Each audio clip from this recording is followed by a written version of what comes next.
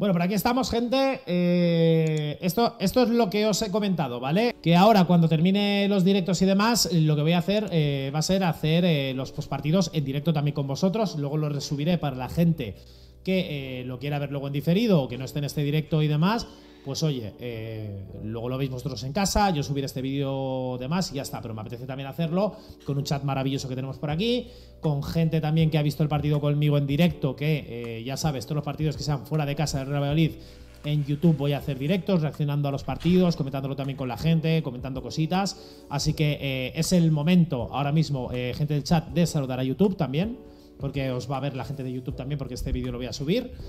Y eh, bueno, eh, vamos a hablar un poquito también de esta jornada 2, de lo que ha dado de sí de, este empate entre Sevilla y Real Valladolid, eh, que ha terminado al final con 1-1. Un partido en el que yo no estoy contento, yo no estoy nada contento de lo que, de lo que se ha visto, no estoy nada contento, de verdad.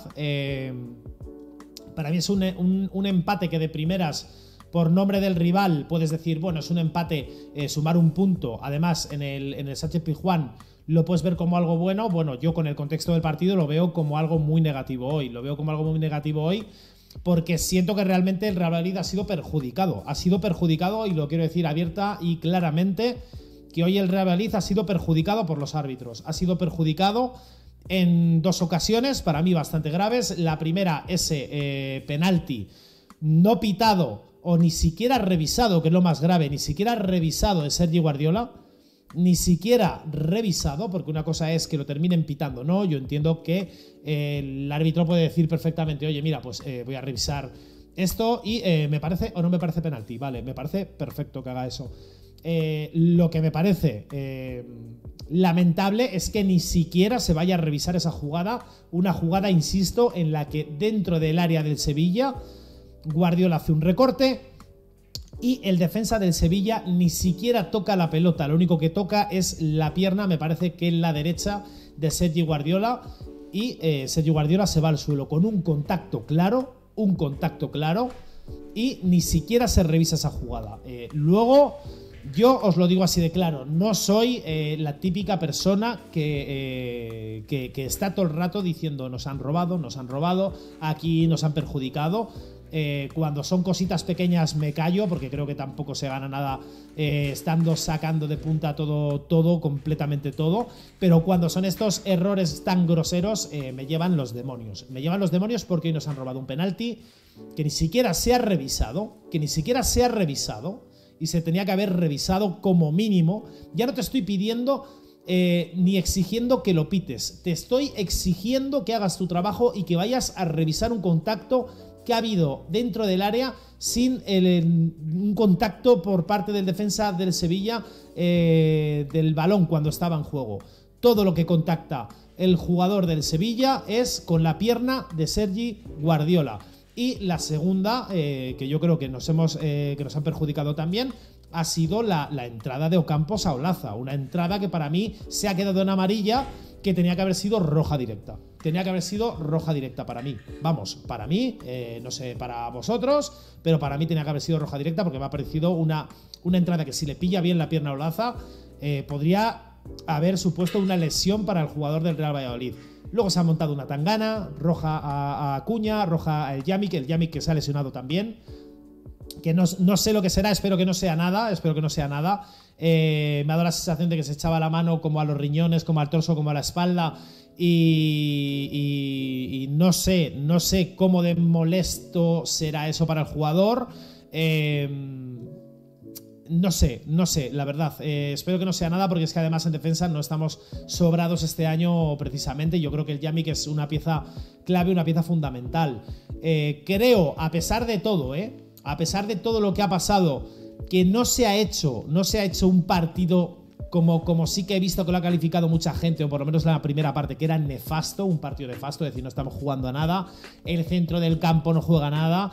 Eh, vamos a ir probando poco a poco las cosas. Esto recién empieza, ¿vale? Es la jornada 2, la primera el Villarreal eh, yo creo que no mereció, o sea, mm, ganarte por tres goles. No creo, no, creo que no mereció ganarte por tres goles. Eh, por cierto, quiero destacar también, eh, muy criticado, muy criticado, Anuar en la alineación de hoy. Muy criticado Anuar en la alineación y hoy ha marcado el gol, que lo quiero resaltar también. Que creo que muchas veces mucha gente es muy injusta con, eh, no con eh, lo que puedan hacer los jugadores o no, pero sí que antes de que pasen las cosas, antes de que se juegue o algo, pues coño, ya dudar de un jugador sin que haya jugado el partido, pues a mí eso no me gusta. Me gusta, por ejemplo, que después del partido puedas hablar perfectamente de que este jugador ha tenido un mal partido. Yo eso lo entiendo. Puedes analizar al jugador después de hacer el partido, pero nunca voy a estar a favor de la crítica antes de que se juegue un partido porque el jugador al que puedes estar criticando hoy te ha marcado gol. No sé, eh, Sergio Guardiola, tío, eh, yo no me esperaba hoy, por ejemplo, por hablar también de Sergio Guardiola, yo no me esperaba hoy la titularidad, ha tenido un mano a mano que...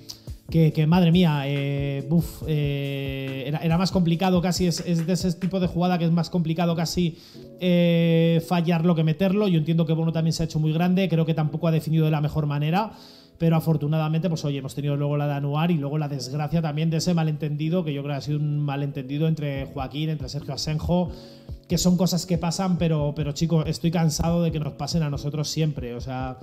Es, increíble, es increíble, de verdad. Eh, yo no, no, me lo creía, yo os lo digo de verdad que no me lo creía. O sea, marcamos en el 80 eh, llevaba dándos la turra todo el rato, la gente que ha estado en el directo lo ha sabido, que he dicho, si llegamos al 75 o al 80 eh, sin perder, lo vamos a ganar, lo podemos ganar perfectamente y justo hemos metido gol a los, a los vamos, minutos, no sé ahora qué minuto ha sido el de Anuar. Y chicos, cinco minutos después, de, de, la forma más tonta que te empaten, pues macho, no sé. a mí te lo digo de verdad. creo eh, a, mí me parecería mal eh, calificar, por ejemplo, este, este empate de bueno eh, porque yo creo que el equipo ha podido conseguir mucho más. Ha podido conseguir mucho más. Ya no te digo a nivel de juego, que yo creo que el nivel de juego es muy mejorable, sobre todo el centro del campo es lo que más me preocupa. Lo veo como que en ciertas situaciones del campo eh, o, de, mm, o, del partido que le cuesta mucho arrancar, le cuesta mucho eh, ser dominador, no te digo dominar a, equipos como Sevilla, Barça o Villarreal, que han estado, que tienen centrocampistas que, que son bueno, que completamente diferentes a los que tenemos nosotros en cuanto a características, en cuanto eh, estar un, para mí un, peldaño por encima del equipo que tenemos eh, nosotros. Pero te digo, por lo menos saber hacer también tu partido y, que, sujetar al equipo también en ciertos momentos. Eso creo que poco a poco lo vamos a ir consiguiendo según avance la temporada. Según avance la temporada. Yo creo que ahora eh, pedir en la jornada 2 al equipo que juegue eh, al 100% de sus posibilidades es un error. Es un error porque te vas a frustrar, amigo, eh, no vas a disfrutar viendo al equipo y, al final esto lo que tienes que hacer es ir creciendo también tú a lo largo de la temporada con el equipo, igual que el equipo también va creciendo con su juego, ¿no? Igual pasó la temporada pasada, que eh, igual no arrancamos de la mejor manera, igual no tuvimos un, arranque muy bueno, pero yo creo que hubo fases en las que el equipo carburó muy bien y luego al final vino la recompensa de, de volver a primera división con ese ascenso.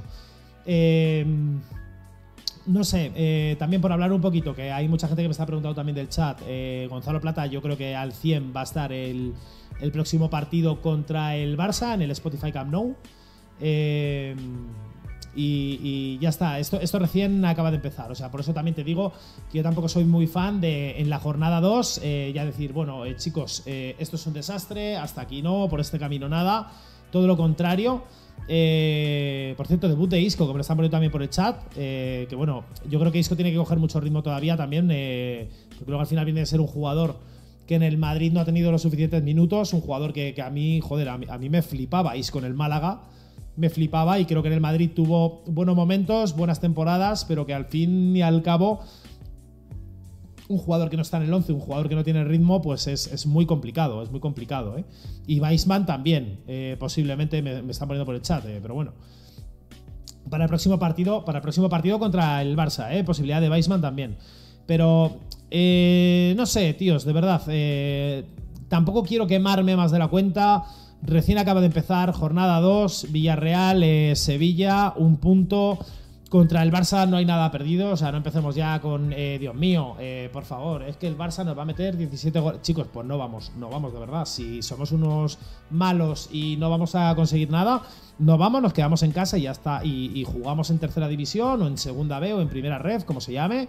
Y, ya está, ¿sabes? Y ya está. Y dejamos de sufrir. A mí me gusta competir contra los grandes. Y me gusta jugar contra los grandes. Y me gusta plantar cara a los mejores equipos de España.